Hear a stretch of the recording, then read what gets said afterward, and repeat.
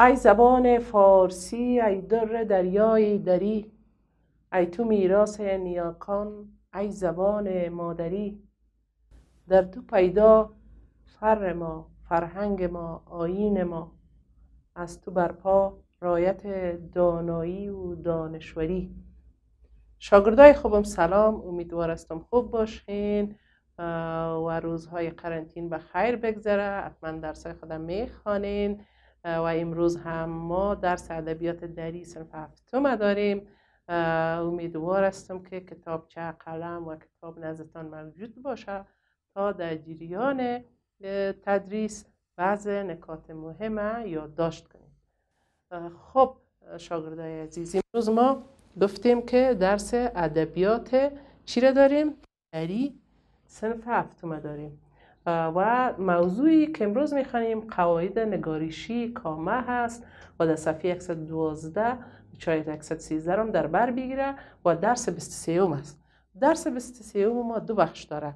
یک بخشش معرفی دکتر عبدالاحمد جاوید است و در بخش دومش قواعد نگاریشی هست که در قواعد نگاریشی ما امروز ویرگول یا کامره می‌خوانیم. و بعدا او را در متن که می‌خوانیم در اینجا شناسایی می‌کنیم. متن که البته مربوط به دکتر عبدالاحمد جاوید است. خب اول ما شما گفتیم به کامه, کامه یا ورگل می‌خوانیم. هدف ما چی هست؟ هدف ما آشنایی با قواعد نگاریشی از جمله علامت کامه یا ورگل است. پیش از که درس نو بخوانیم یک ارزیابی از درس گذشته داریم.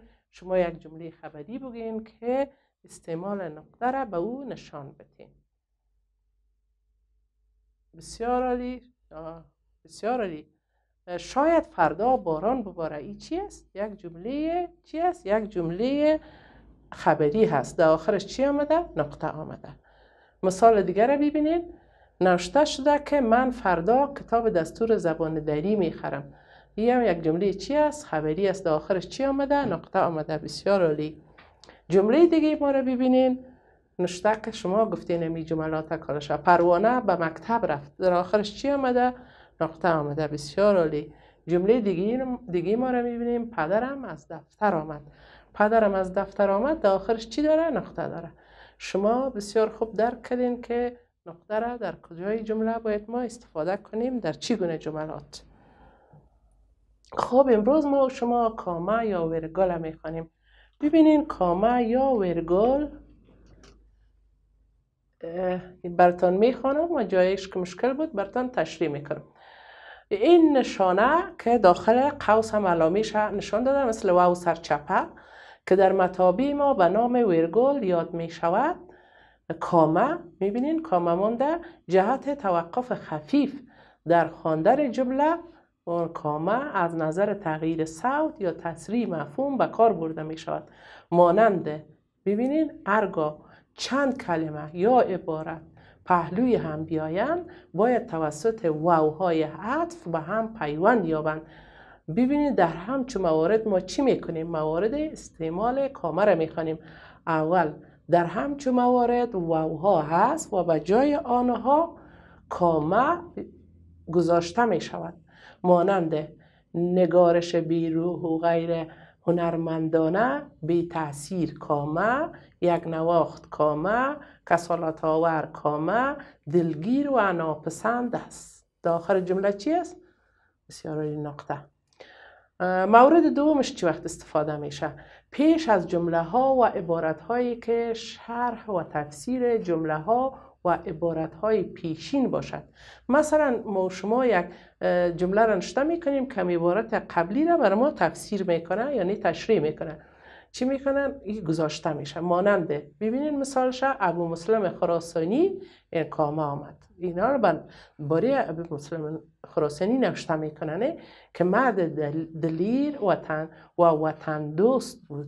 کامه آوردنه همواره اندیشه اندیشه آزادی و استقلال خراسان را به سر می پرورنید در آخر جمله چی آمده؟ نقطه کیره در قبلی شما خواندید خب سیوم چی گفته؟ ارگا جمله با یکی از واجه های بله، نه، نه، خیر، درست و امثال اینها آغاز شود پس از آن کلمه کامه و در پی بقیه جمله نوشته می شود ببینید مانند مثال داده بله من اشعار او را خواندم. بعد از بله چی از کامه و یا نه ناسنجیده باید کرد. به این موارد هم چی؟ کامه استفاده میشه. خب توجه کنین گفته که اگر اما اگر این واژه ها تنها بیایند پس از آنها نقطه گذاشته می شود این کامه نمیشه گذاشته. مانند داستان را خواندی اینجا میگه بله جواب کوتاه بود. این بعد از بله کدام تشریعات نداشت. فلحاظا اینجا نقطه مانده میشه کامه نه چهارم برای جدا کردن کلمه های خطاب از جمله استعمال, استعمال می شود مثلا ببینید مانند چی؟ دوست عزیزم از دیدنت بسیار خوش شدم. نه پنجم چی وقت استفاده میشه؟ ارگاه برای یک موصوف صفات متعددی را بیاریم. بعد از هر صفت یک کامه می‌گذاریم و قبل از صفت آخری واو عطف می نویسیم عطف یعنی پیوست بتر. همون کلمات ما را جملات ما را. مانند رابی بلخی این اینجا یک کامه باید میمون فراموش شده. زن شاعر و عارف بود. یا می‌گفت رابی بلخی زن دانشور باز کامه نویسنده شاعر و عارف بود. بعد از شاعر هم میمون درستتر می‌شد به این شکل. روی تخته ای را براتون نشته می‌کنم متوجه باشین. یا نشته می‌کرد که مثلا رابعه بلخی رابعه بلخی خب رابعه بلخی زن شاعر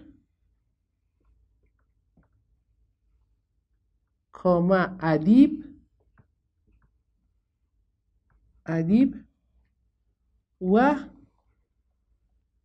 مهربان بود. در آخر جمله چی می‌کنیم؟ نقطه میمونیم. چند صفت به دادیم؟ شاعر باز یک چیز متوجه باشین کمی کامه که ما نشته می‌کنیم نزدیک امی, امی کلمه ما که خلاص شد کامه با دزو کمه که یک سپیس میگن در کمپیوتر به اندازه یک سپیس چی میتیم؟ فاصله میتیم. ادیب.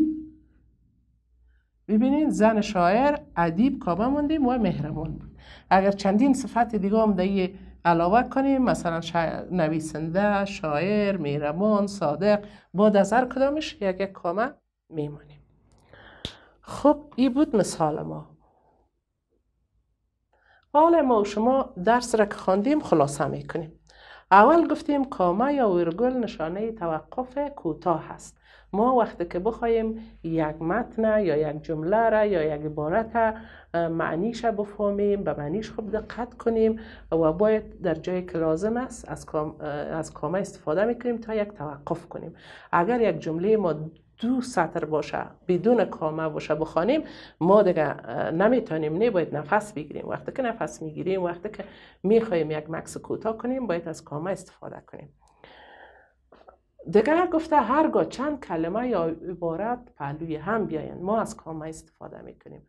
مثلا چند عبارت یا کلمه را یک جا کنیم. چه قسم ما می‌تونیم از کامه استفاده کنیم؟ مثلا پیشتر هم گفتم که مثلا ما می‌تونیم نشته کنیم برشون که اگر درس نمیخواندم باز کامه میمانیم. باز میگیم که در کنکور کامیاب نمی‌شدم. یا اگر درس نخوانم کامه در کنکور کامیاب نمیشم به این شکل هم مثال داده می‌تونیم. خب مورد دومش بود پیش از جمله ها و عبارت هایی که شهر و شرح و تفسیر جمله ها عبارت های پیشین باشه. قسم که شما درباره کی خواندین؟ درباره ابو مسلم خراسانی گفتین نه؟ ابو مسلم خراسانی گفتین که یا درباره یکی از شخصیت ها اگر بگیم درباره خود اینمی دکتر عبدالاحمد جاوید باز ما و شما می‌خوانیم که در اونجا هم زیاد از, از کامه چی شده یا ویرگال استفاده شده در متن به خیر باز ما رو می‌خوانیم و شناسایی می‌کنیم. دیگه هرگاه جمله با یکی از واژه های بله نه خیر و امثال اینها آغاز شود. ایران پیشتر ما مثال کار کردیم مثال های دیگه هم در این مورد گفته می‌تونیم مثلا می‌تونیم بگوییم که نه من درس کامه باز من درس نخواندم یا نه کامه بانیم باز بگیم نیم.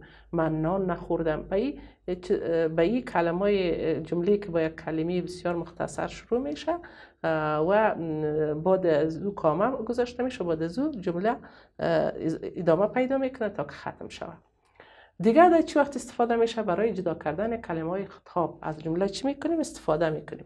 مثلا پیشترم شما خواندین بازم گفته می‌تونین مثلا پدر مهربانم کامه از دیدنت خوشحال شدن دیگه در کجا استفاده میشه؟ ارگا با یک موصوف صفات صفات متعددی بیاوریم. در اینجا می‌تونیم ما از کامه استفاده کنیم مثلا چندین صفت ها بر یک بتیم.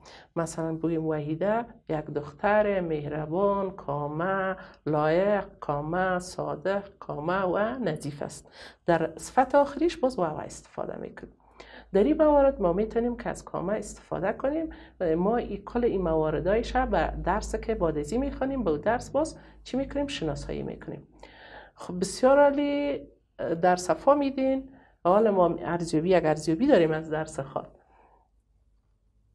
خب کی برای من میگه که قاعده سیوم کامه چی هست؟ یک مثال بگین. قاعده سیوم کامه و سوال دوم قاعده با یک مثال واضح سازید. یک دیگه قاعده چی بود؟ قاعده پنجم بود. بسیار عالی. شما درک کردین اون مثال های خوب خوب گفتین. ما گفتیم که مثلا قاعده سیومش چی بود؟ گفتیم هرگاه چی شود؟ هرگاه جمله با یکی از واژه های بله نه نه خیر درست و امثال اینها آغاز شود. از کلمه کامه گذاشته می شود ببینید مانند چی؟ مثال داده مثال.